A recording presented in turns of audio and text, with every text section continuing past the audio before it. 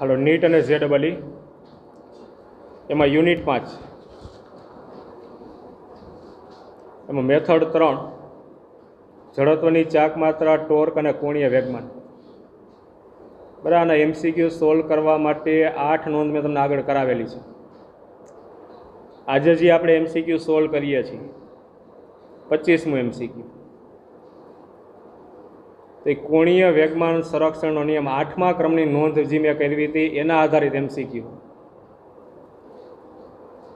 હવે જો એમસીક્યુની રકમ શું આપેલી છે પચીસમાં એમસીક્યુની તો લીથાની અંદર જોશો તો એવું કીધું પૃથ્વીને નિયમિત ઘનતા ધરાવતા નક્કર ગોળા તરીકે સ્વીકારી લઈએ.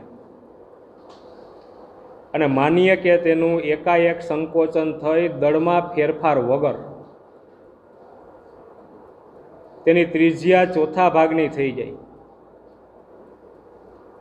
તો હાલનો ચોવીસ કલાકનો દિવસ કેટલી કલાકનો થઈ જાય? અત્યારે જે પૃથ્વી છે, બરાબર છે, અત્યારની જે પૃથ્વીએ કાંઈ ફેરફાર ન હોય, તો એક દિવસ ચોવીસ કલાકનો હોય. એક દિવસ એટલે પૃથ્વીને એક પરિભ્રમણ ધરીની આસપાસ પૂર્ણ કરવા માટે લાગતો સમય ચોવીસ કલાકનો હોય. એ તો ખ્યાલ હશે ને?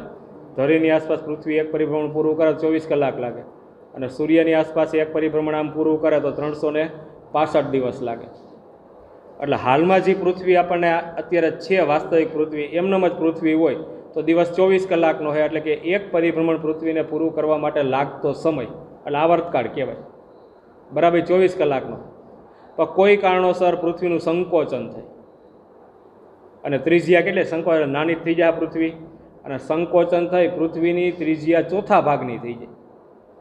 તો પછી પૃથ્વી ઉપરનો દિવસ કેટલી કલાકનો થઈ જાય? એ ચોવીસ કલાકનો જ રહે. બરાબર? કે ઘટીને કાંઈ બીજો સમય આવશે, વધીને કાંઈ બીજો સમય આવશે કેટલી કલાકનો થઈ જાય દિવસ? તો આમાં જો પૃથ્વી એક વસ્તુ ફાઇનલ છે. કે પૃથ્વી હોય. કવિ સાચું હોય કે નહીં તમારે કહેવાનું? ધરીની આસપાસ આમ ફરે. તો ગવર્મેન્ટે આ બાજુ પાંચ માણસો અને આ બાજુએ પાંચ માણસો આમ પૃથ્વીને ફેરવવા માટે રાખ્યા. રાખ્યા હે ને? એની મેળે ફરસ એની મેળે ફરસ એટલે એમાંથી બહારથી કાંઈ બળ ટોર્ક એવું કાંઈ લાગતું નથી. બરાબર આ આ એમસીક્યુ છે તમારો તેમાં ટોર્ક નથી લાગતું. એટલે આમાં કોણી વેગમાનનું સંરક્ષણ થાય. અથવા એમ ન વિચારવું હોય તો જો આખી પરિસ્થિતિ લખી નાખું, હાલની હાલની પૃથ્વી છે. એની ત્રિજ્યા માની લઉં. કેટલી છે અત્યારે? આર. અત્યારની જે પૃથ્વીની ત્રિજ્યા આર ધાર લો. ત્યારે દિવસ આપ્યો કેટલી કલાકનો દિવસ છે? ચોવીસ કલાક. એટલે દિવસ એટલે પૃથ્વીને એક પરિભ્રમણ પૂરું કરવા માટે લાગતો સમય એટલે કે આવર્તકાળ. કેટલી કલાકનો આપ્યો છે? તો કે ચોવીસ કલાક.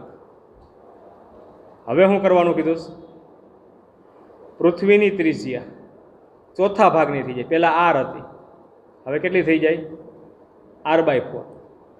તો હવે પૃથ્વીની સપાટી ઉપરનો જે દિવસ છે એ કેટલી કલાકનો થઈ જાય? ટીટું મેળવશું. મેં તમને કીધું ને, ઓમેગા એટલે ટુ છેદમાં ટી એટલે ટી વન આપ્યું છે ને એટલે ઓમેગા વન જ છે. અને ટી ટુ આપ્યું એટલે ઓમેગા ટુ છે. તો મેં આઠમા ક્રમના નોંધમાં તમને ચોખ્ખો ઉલ્લેખ કર્યો હતો કે જેમાં ઓમેગા વન ને ઓમેગા ટુનો ઉલ્લેખ આવે ને, એટલે લગભગ ને કોણી વેગમાન સંરક્ષણ નિયમનો ઉપયોગ થતો. બરાબર? એટલે અહીંયા ઓમેગા વન આવશે આમાં, અને અહીંયા શું આવશે? ઓમેગા ટુ બે કોણીય વેગ. ટૂંકમાં એક જ સૂત્ર એવું છે. તો આમાં કોણીય વેગમાન સંરક્ષણનો નિયમ મૂકી દો. ટોર્ક તો લાગતું નથી જ. બરાબર એટલે ટોર્ક. લાગતું ન હોવાથી. કોણીય વેગમાન સંરક્ષણને હું સીધું સૂત્ર મૂકી શરૂઆતનું કોણીય વેગમાન એટલે આઈ વન ઓમેગા વન અને અંતિમ કોણીય વેગમાન એટલે આઈ ટુ ઓમેગા ટુ બરાબર, કોણીય વેગમાન સંરક્ષણનો નિયમ મૂકો ટોર્ક નથી લાગતું એટલે. અથવા તો આમાં ઓમેગા વન અને ઓમેગા ટુનો ઉલ્લેખ છે ટોર્ક નથી લાગતું એટલે આ સૂત્ર મૂક્યું કોણીય વેગમાન સંરક્ષણનો નિયમ છે. જડત્વની ચાક માત્રા મારે લખવી પડે. શરૂઆતની ને અંતિમ. કોની? પૃથ્વીની. પૃથ્વી એક જ છે અત્યારે. અને તમને ચોખ્ખું કીધું છે કે પૃથ્વીને નક્કર ગોળા તરીકે વિચારવાની છે. તો નક્કર ગોળો હોય ને તો એની જડત્વની ચાક માત્ર આપણે કોષ્ટક આખું યાદ રાખ્યું છે. બેના છેદમાં પાંચ એમઆર સ્ક્વેર. આ નક્કર ગોળો. અને કેન્દ્રમાંથી પસાર થતી અક્ષ. આ પૃથ્વી હોય, નક્કર ગોળો હોય, કેન્દ્રમાંથી પસાર થતી અક્ષ, એની આસપાસ આમ પરિભ્રમણ, ચાક ગતિ થતી હોય, તેની જડત્વની ચાક માત્ર બેના છેદમાં પાંચ એમઆર સ્ક્વેર છે. બરાબર? આ પ્રમાણે હોય તો. અને પોલો ગોળો હોય. તો એ બેના છેદમાં પાંચની જગ્યા ઉપર શું આવશે? બેના છેદમાં ત્રણ એમાં સ્ક્વેર આ જડત્વની ચાક માત્રા. બરાબર? એની જરૂર પડે, જડત્વની ચાક માત્રા છે. પૃથ્વી આપી છે, પૃથ્વીને નક્કર ગોળો ગણવાનો, તો નક્કર ગોળાની જડત્વની ચાક માત્રા આપણા કોષ્ટકમાં આપી છે તેનો ઉપયોગ કરું. એટલે આનો ઉપયોગ કરશો તો શરૂઆતમાં જડત્વની ચાક માત્રા કેટલી થાય? તો કે બેના છેદમાં પાંચ. દળમાં તો કાંઈ ફેરફાર થતો નથી એટલે વન ટુ કાંઈ નથી કરતો. શરૂઆતનું દળ ને અંતિમ દળ જુદું હોય તો અહીં વન કરવું પડે છેલ્લું દળ જે બદલાનું એમાં ટુ કરવું પડે. એમ વન એમ ટુનો ઉપયોગ કરવો પડે, પણ દળમાં કાંઈ ફેરફાર થતો નથી એમ. અને કેટલું આવશે શરૂઆતમાં? તો કે અહીંયા R one square omega one એટલે ટુ પાઈના છેદમાં ટી વન. આઈ ટુ એટલે પૃથ્વીની જડત્વની ચાક માત્રા પણ સંકોચન થઈ જાય ને પછીની વસ્તુ હા. તો સંકોચન થઈ જાય પછી જડત્વની ચાક માત્રા બેના છેદમાં પાંચ ત્રિજ્યા બદલાઈ ગઈ છે ને ત્રિજ્યા કેટલી કીધી છે તમે આર ટુ. અને ટુ પાઈના છેદમાં ટી તમારે એમાંથી ટી મેળવવાનું છે. બેના છેદમાં પાંચ એમ બે બાજુથી દૂર કરી નાખું. પછી ટુ પાઈ બે બાજુથી દૂર કરી નાખું. વધ્યું કેટલું અહીંયા? આર વન સ્ક્વેરના છેદમાં ટી વન. તો આર વન એટલે કેટલું છે? તો કે આર. અને અહીંયા વધશે એકના છેદમાં ટી વન. આ તો નીકળી ગયો R two square. R two square એટલે આનો સ્ક્વેર. વર્ગ કરીશ એટલે કેટલું થઈ જાય? આર સ્ક્વેર અને છેદમાં ચારનો વર્ગ એટલે સોળ. અને બીજું કેટલું હોય તો એકના છેદમાં ટી ટુ. અહીં વર્ગ જ છે ને? બરાબર? આર વન એટલે આર, પણ વર્ગ છે તો અહીં વર્ગ જ આવશે. આર સ્ક્વેર બે બાજુ નીકળી જાય. મારે ટીટું મેળવો તો ટીટું આ બાજુ અહીં છેદમાં તો આ બાજુ લઉં તો અંશમાં આવશે. આ ટીટું, આ ટી વનને આ બાજુ લઉં. અને છેદમાં કેટલા આવશે? સોળ. તો ટી વનની કિંમત તમારી આગળ છે ચોવીસ કલાક. અને છેદમાં સોળ. એટલે થાહે આઠ તેરી ચોવીસના આઠ દુ સોળ.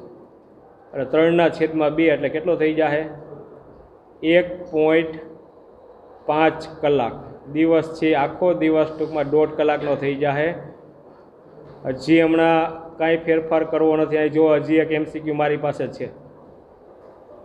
આવા એમસીક્યુની ગણતરી તમે કરી, આવા તો ઘણા બધા એમસીક્યુ લીધામાં આપ્યા અઢારમો તમે ગણશો, બાવીસમો ગણશો, છેતાલીસમો ગણશો. આ ગણશો એટલે એક તારણ નીકળશે. જો પૃથ્વીની ત્રિજ્યા ઘટે ને અરે દિવસ ચોવીસ કલાકનો, દોઢ કલાકનો થાય. બરાબર, તો એ સમય શું ઘટશે? એ દિવસે શું થાય? ટૂંકો થાય. ત્રિજ્યા વધે તો તો દિવસ લાંબો થાય.